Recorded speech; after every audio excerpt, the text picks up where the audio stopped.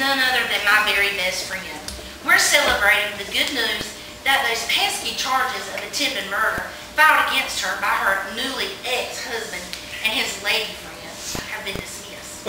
So, since she's not being sent up to the big house, let's give a big old Texas howdy to gay nail birding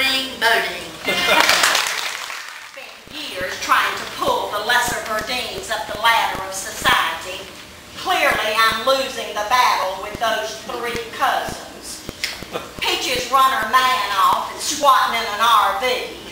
Jimmie Wyvette gives a whole new definition to peculiar.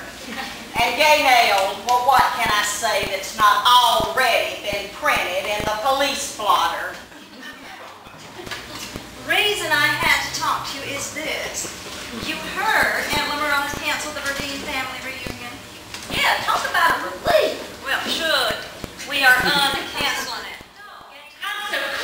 that my cake will win. I'll bet my house